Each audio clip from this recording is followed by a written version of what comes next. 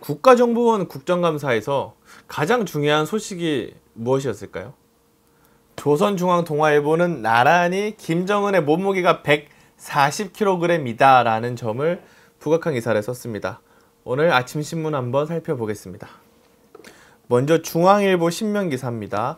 국정원 김여정 북한 국정 전체에 관여 김정은 140kg 라는 제목이고요.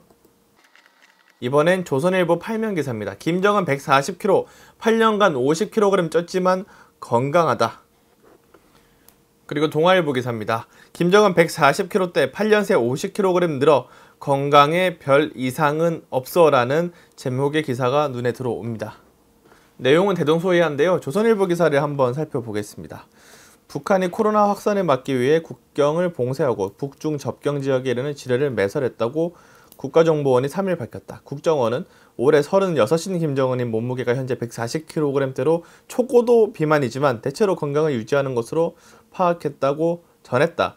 내년 1월 8차 노동당 대회에서 김정은의 군 지휘는 원수에서 대원수로 격상되고 여동생인 김여정 노동당 중앙위 일부부장 직책도 국정 전반에 관여하는 위상에 걸맞게 조정될 것으로 전망했다. 이 조선일보도 이제 기사 리드 첫 문단을 보면 알죠. 한 네 가지 이슈가 이 국정감사의 주요 쟁점 현안이었던 것 같습니다. 그런데 이 네 가지 중에서 유독 조선일보, 중앙일보 그리고 동아일보가 김정은의 몸무게에 이렇게 집중한 이유는 무엇일까요? 물론 동아일보는 여러 가지 기사를 쓰고 그 안에 몸무게 기사를 쓰긴 했고요. 다만 조선일보와 중앙일보는 몸무게 기사를 전면으로 부각하는 이 기사를 내세웠습니다.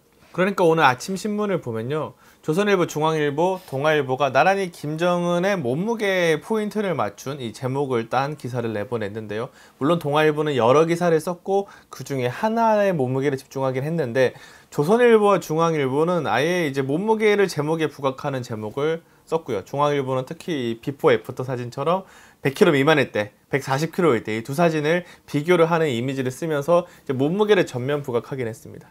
근데 기사 내용을 보면요. 정작 이 내용들이 이 제목이 이 내용을 충실히 반영하고 있나 좀 의문이 들긴 합니다.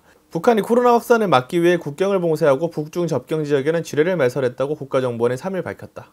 국정원은 김정은의 현재 몸무게가 140kg대로 초고도 비만이지만 대체로 건강을 유지하는 것으로 파악됐다고 전했다.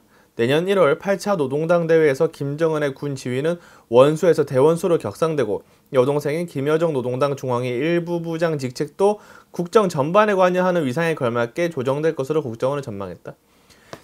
기사의 첫 문단은 리드문이라고 하죠. 기사의 가장 핵심이 되는 포인트를 나열한 건데 보시면 네 가지 포인트가 이제 병렬적으로 있죠. 코로나 문제, 김정은의 건강 문제, 그리고 김정은의 격상 문제, 김여정의 지위 격상 문제 이 네 가지 이슈가 리드문에 들어있을 정도로 정말 다양한 현안과 쟁점이 있었던 국정원의 국정감사였다는 사실을 알 수 있습니다. 그런데 조선중앙동아일보, 특히 조선중앙일보는 기사 제목에 이 많은 이슈 중에서 몸무게 그 자체를 부각함으로써 뭔가 흥미거리로 소비한다는 느낌을 주지 않을 수가 없는데요. 물론 김정은의 건강이 중요하지 않다는 건 아닙니다. 한반도 정세 속에서 김정은의 건강이 미치는 건 상당히 큰 변수로 작용할 수가 있죠. 실제로 지난 4월에서 5월 사이에 이제 김정은의 건강 이상 소리 돌고 이제 태용호 의원 같은 경우에는 죽었다고 확신한다는 식으로 발언을 해서 이제 추후에 김정은이 등장을 하자 이렇게 김정은 등장 후에 많은 질책을 받았다. 국민께 사과드린다라고 밝히기도 했습니다. 당시 가짜뉴스 논란까지 불거지고 많이 좀 혼란스러운 상황이긴 했는데요. 건강이라는 게 중요하긴 하지만 핵심은 이 건강 문제로 인해서 한반도의 정세가 어떻게 급변하느냐 마느냐지 뭔가 가십거리를 끌어내놓듯이 90인데 140kg로 1년에 5kg, 6kg나 쪘다. 뭐 사진을 보여주고 뭐 엄청 쪘다 이렇게 부각하는 게 과연 지금의 북한의 이슈를 파악하고 북한을 견제할 수 있는 좀 핵심적인 보도냐 라는 데 저는 좀 의문이 있습니다. 사실 보시면 위키트리라는 언론사가 있죠. 온라인 이슈 속에서 가장 좀 흥미거리만 끌어내서 기사를 쓴다 이런 지적을 받는 언론사인데 이 언론사가 이런 기사를 썼죠. 국가정보원이 공개한 김정은 위원장 현재 몸무게 국가정보원이 북한 김정은 국무위원장의 현재 몸무게를 밝혔다. 가십거리로 소비를 하고 있는 겁니다. 실제로 온라인상에서 이 몸무게라는 숫자 자체를. 근데 대한민국의 조선일보, 중앙일보가 이런 소비 행태를 그대로 따라가는 게 과연 적절한가? 그리고 기사 내용을 보더라도 이제 북한 내 위상 변화라든가 코로나 이슈라든가 이런 다양한 문제가 얽혀 있는데 이 몸무게를 가장 강조하는 게 이제 좀 핵심이 돼야 될 보도인가? 라는 점에서는 의문을 피할 수 없다는 거죠. 다른 보도 신문의 보도도 한번 살펴보겠습니다. 매일경제 12면 보도입니다. 제목을 한번 읽어드리겠습니다. 국정원 서해상 피격 사망 사건 김정은 경위 조사 지시한 정황. 보수신문이 경제신문 매일경제는 이 공무원 피살 사건에 초점을 맞춰서 국정감사 이슈를 다뤘습니다. 몸무게에 초점을 맞춘 것보다 저는 이게 더 필요한 보도라고 생각을 합니다. 좀 중요한 현안이었고 한국 사회를 떠들썩하게 만들었던 이슈이기도 했고요.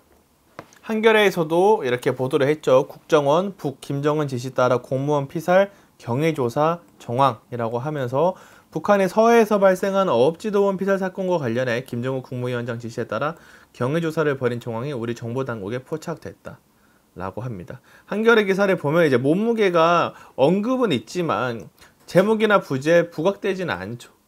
매일경제 기사도 마찬가지였습니다. 저는 이게 그냥 진보나 보수의 문제로 접근할 수 있는 게 아니라 북한에 대해서 우리가 필요한 정보, 전달해야 될 정보, 핵심 정보를 전달하는 것이 중요하다고 생각을 하고요. 언론사마다 기사 판단의 가치, 이 판단은 당연히 다르겠지만 이 몸무게를 가십성으로 소비하게 만드는 보도는 이제 우리가 위키트리 같은 언론 매체를 상당히 많이 비판을 하는데 그것과 그렇게 다르지 않았다는 점에서 좀 의문이 들었습니다.